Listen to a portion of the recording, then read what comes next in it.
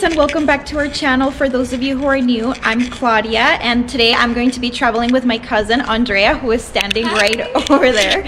Um, so we've been getting lots of requests and questions in terms of what flying during COVID is at the moment and this is actually our first flight that we're going to be taking. We are still staying within Canada. We haven't decided to travel outside of the country yet. Um, so we're going from Alberta to BC. And uh, yeah, we just really wanted to give you the experience, show you kind of what is different, what is the, still the same. So far, the only thing that we have noticed is last night when we were checking in online, we had to fill out a short questionnaire and just asking some basic COVID related questions. Um, and they also did ask us to arrive three hours prior to our flight. Um, we're not checking any bags or anything like that, so it should be relatively quick, but we're still here early. So let's go and see what it's like.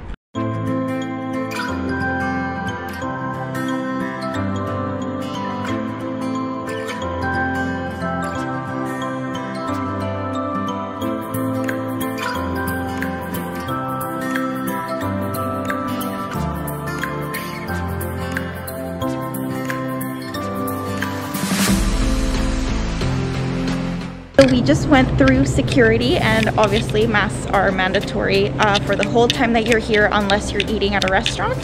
Um, and then yeah, so now we're on our way to our gate. Security was like super quick. There was nobody there. Um, I did find they were a bit maybe more strict with the liquids and making sure that they're in the bag. Um, but other than that, same old, same old.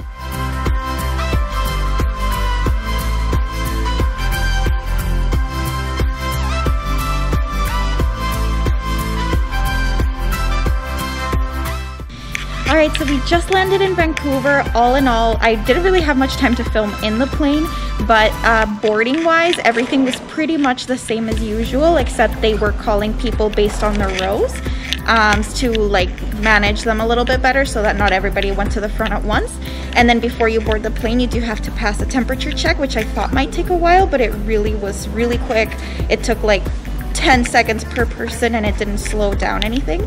And then on the plane, nothing was really different. Everybody like was still sitting in all the seats. So not really much spacing there. You did have to wear a mask during the entire flight and there was no food and beverage service in the flight. So that is our experience. Now we are off and uh, let us know if you're gonna be flying anytime soon down below.